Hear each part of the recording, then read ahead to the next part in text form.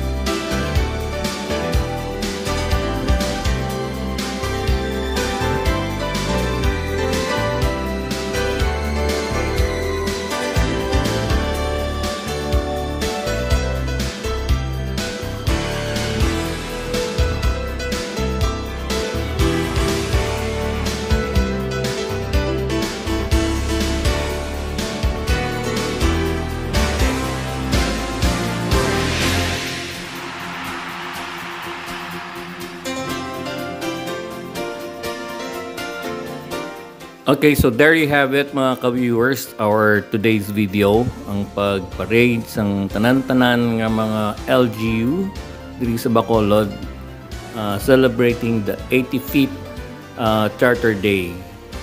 And uh, again, congratulations kag sa mga fathers ta, happy Father's Day, mga dad, tatay, papa. And congratulations Bacolod City for the 85th Charter Day.